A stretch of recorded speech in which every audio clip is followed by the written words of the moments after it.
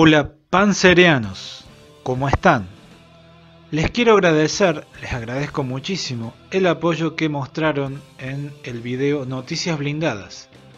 Les agradezco y me pone contento esos comentarios que dicen que los seguidores de Panzer Argentino son muchos y me pone contento porque a veces, solamente a veces, los que entendieron son muchos más que los que no quieren entender. Muchas gracias. Quería hablarles hoy de la empresa Enguesa, empresa dedicada a la construcción de blindados que tuvo su sede en la ciudad brasileña de San José dos Campos. Y me parece a mí que la historia de esa empresa es muy importante como lección para que otras empresas que se dedican al tema armas o defensa dentro de Iberoamérica, Latinoamérica, sepan qué es lo que hay que hacer y qué es lo que no hay que hacer. A veces saber lo que no hay que hacer es más importante que saber lo que sí hay que hacer. Esta empresa nació en la década de 1960 como una empresa para recuperar y modernizar vehículos de ruedas del ejército brasileño. Hasta que en la década del 70, principios de 1970, empezó a diseñar su propio vehículo blindado, un vehículo de transporte de personal basado en el vehículo de reconocimiento M8 norteamericano, el EE-11 Urutu, un transporte de personal que podía albergar a 10 infantes, más conductor y artilleros. Luego se animó un poquito más, habiendo obtenido buenas ventas del Urutu, y diseñó diseñó y construyó el Cascabel, que podríamos decir que es un blindado de reconocimiento armado o un blindado 6x6 de apoyos de fuegos que está equipado con el cañón de diseño belga Cockerill MK3 de calibre 90 mm. Este es un cañón de baja presión, velocidad de salida de proyectil aproximadamente 700 metros por segundo, pero que para el contexto de países de segundo orden o países periféricos podía funcionar perfectamente.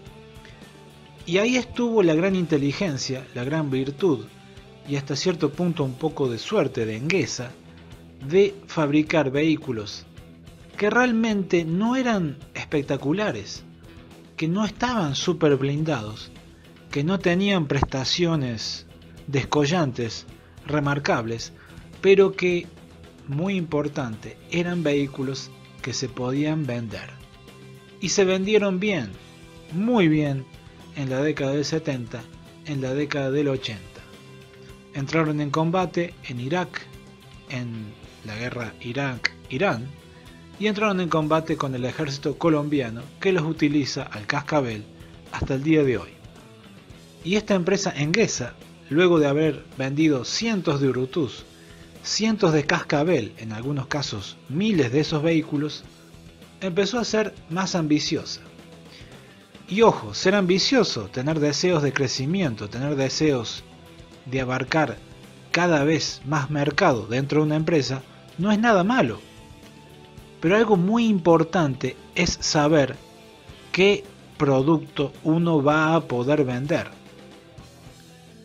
La empresa Enguesa, a partir de 1983, se dedicó a desarrollar, a diseñar y a construir el carro de combate Osorio, el EET-1 Osorio, un vehículo, un tanque principal de batalla con un cañón de 120 milímetros.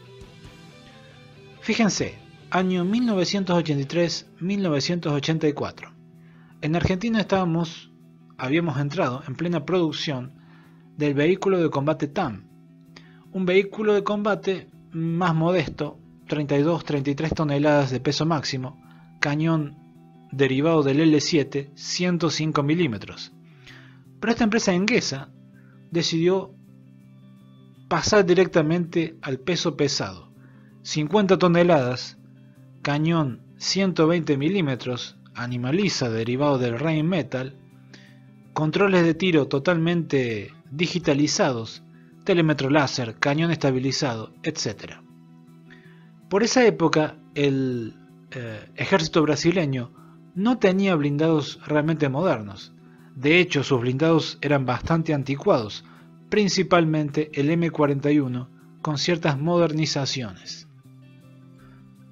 Y entre 1983 y 1986 la empresa Enguesa propone, diseña, construye una serie de cuatro prototipos del vehículo Osorio y que esperaba que se convirtiera en el vehículo principal del ejército brasileño y tenía ciertas eh, serias, tenía serias intenciones de que tuviera éxito internacional como lo tuvieron sus vehículos de ruedas Urutú y Cascabel. Ahora bien, tenemos que ponernos en el contexto en el cual el Osorio empieza a ser eh, ofrecido a la venta internacional, que es 1989-1990. Caída de la Unión Soviética.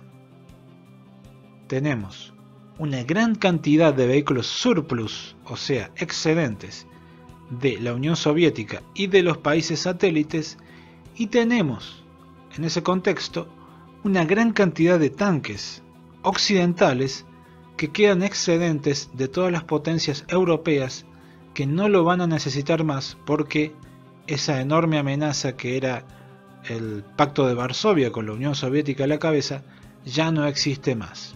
Y si bien el Osorio participó en diversas demostraciones internacionales, la más notable en Arabia Saudita, con buenos resultados, no se pudo vender. Era un vehículo que en esa época, 1990, estaba a un precio de cerca de 3 millones de dólares. En esa época, un Leopard 2 usado podía conseguirse a una sexta parte. ¿Qué sucedió? La empresa Enguesa, luego de haber invertido varios millones, decenas de millones de dólares en el Osorio y en otros vehículos que eran 6x6 cazatanques que tampoco tuvieron éxito comercial, el Sucuri modelo 1 y modelo 2, cazatanques con cañones de 105 milímetros, se fue a la quiebra en el año 1993 no supo entender qué productos podía vender y cuáles no, y lo pagó muy, muy caro. Y antes de despedirme, les repito este concepto. Tener un producto que uno pueda vender es mucho más importante que tener el mejor producto.